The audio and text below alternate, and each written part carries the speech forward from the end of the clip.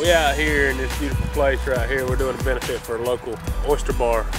Somebody set on fire and now employees are out of jobs. It's a big hit to the community. So what we're trying to do is just kind of give back and help them rebuild. Way of life. Way of life. Way of life. Way of life. Oh, oh.